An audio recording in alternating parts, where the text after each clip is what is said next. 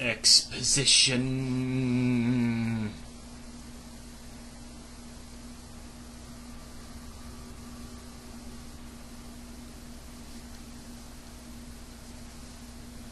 I didn't actually have any Zombrex.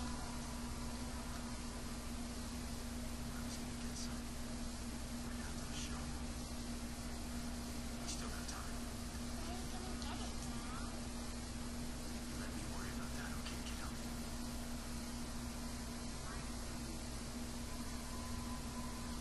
What's up, sweet cheeks? Why is this so goddamn quiet? Chuck, this is Katie. I have to turn my volume up oh, uncomfortably loud. No, but if you find one, I suggest you take this. That way we can keep in touch. There's closed circuit cameras all over the city. These monitors are playback only, but I'll keep an eye on them. Chuck, if you find anyone alive out there, I'll do what I can. Keep an eye on my daughter,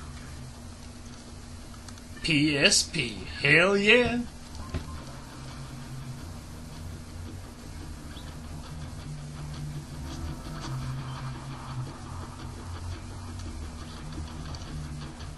A map.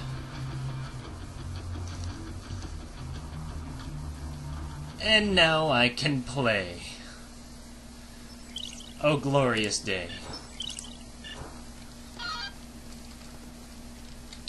Uh, do I need anything here? Nope. I'm gonna save. We're gonna do this right. Finally, god damn, that was like what, 15 minutes of cutscenes or something? Ridiculous. Shouldn't be that bad from now on.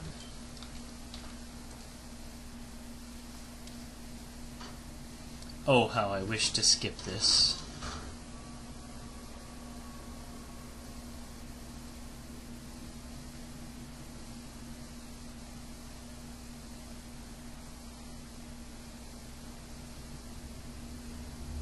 And this is how we will enter back into Fortune City from the safe room.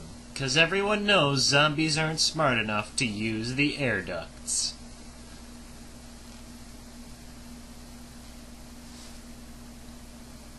That's just one of the higher brain functions.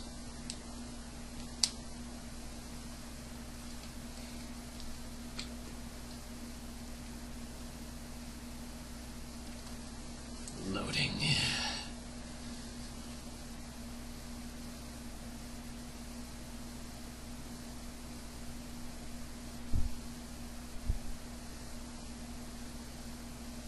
Loading, come on! God damn, anyway. Okay.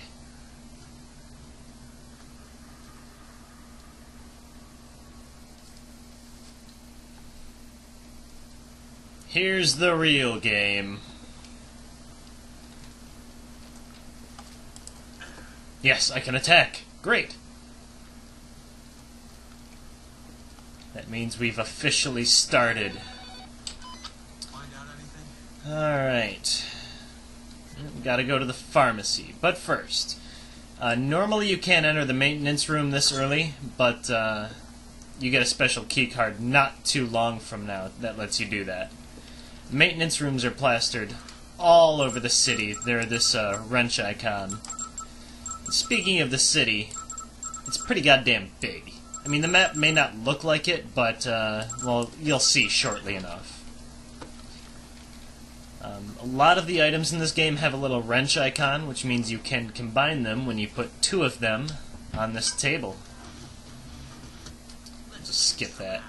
Nails plus baseball bat equal nail bat. That's the first one you'll get. And by first one, I mean combo card. These are little cards that let you know different items that you can put together to make combo weapons.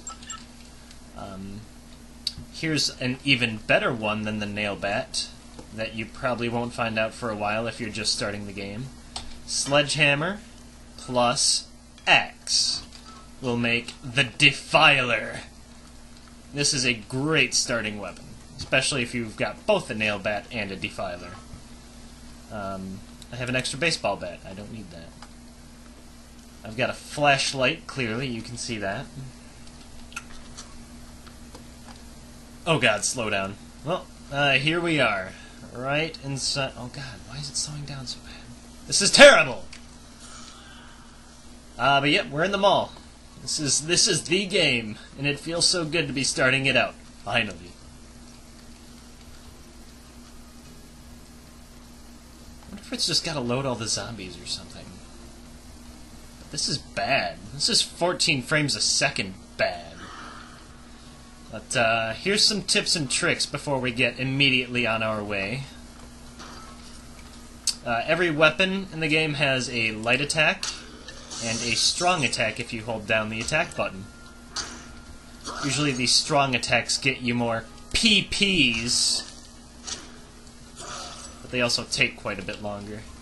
Um, speaking of PPs, I hope I can do this in a timely manner. Oh god, the slowdown is terrible. See this big craps table and these giant die? If you roll a 4 and a 3, you get a ton of PP.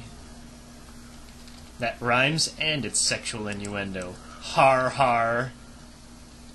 God damn it. This is this is just not gonna go my way. This is gonna be five minutes of me throwing a friggin' big fuzzy dice. Or a big fizzy deuce. I need to get a three man. Alright. This next one is my last throw.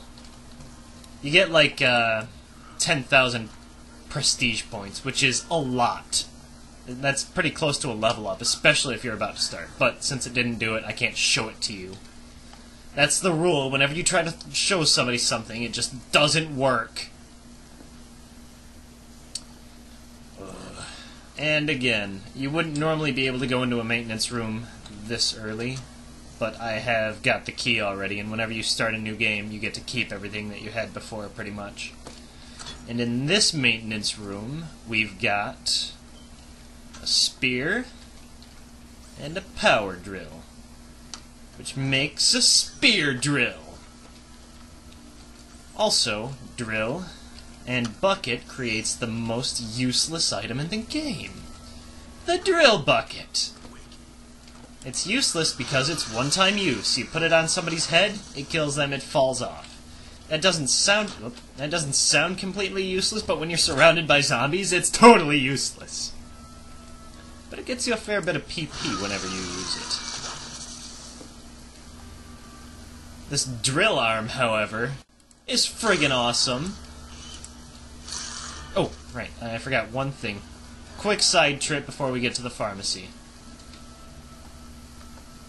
I'm gonna pick up some gems and emeralds.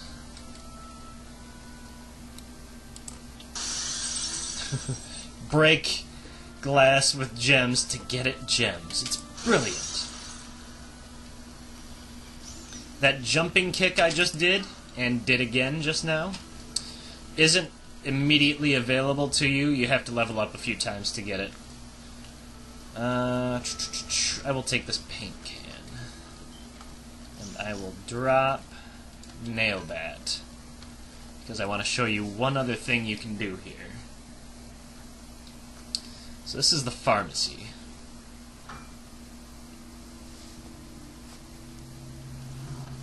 Where looters are looting. That's what they're there for. I forgot to take off the fedora. Oh well.